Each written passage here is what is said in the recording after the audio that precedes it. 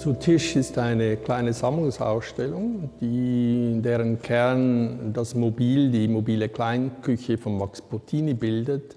Drumherum finden sich aber verschiedenste Werke aus der Thurgauischen Kunstsammlung.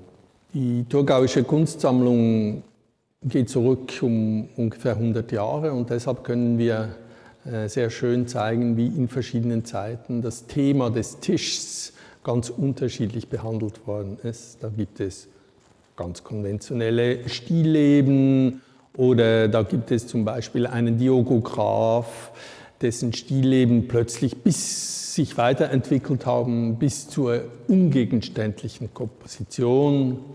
Oder es gibt die wunderbaren Blumensträuße von der Helen Dahm.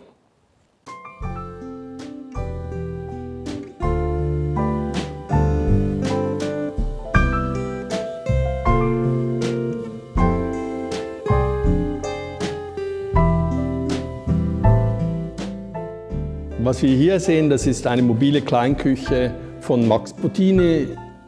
Max Bottini ist in den Jahren 2002 bis 2008 mit dieser Küche verschiedentlich unterwegs gewesen. Und zwar hat er, man kann diese Kleinstküche zusammenpacken, sie hat Räder und damit ist er in den Zug gestiegen und an beliebigen Orten auf dem Bahnsteig hat er dann begonnen zu kochen.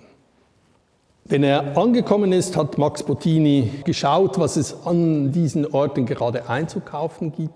Und dann hat er Menschen auf dem Bahnsteig gefragt, willst du mit mir Mittagessen einnehmen? Und er hat vor Ort für diese Menschen ein Menü gekocht. Die Küche enthält alles, was es braucht, um ein Gastmahl zuzubereiten.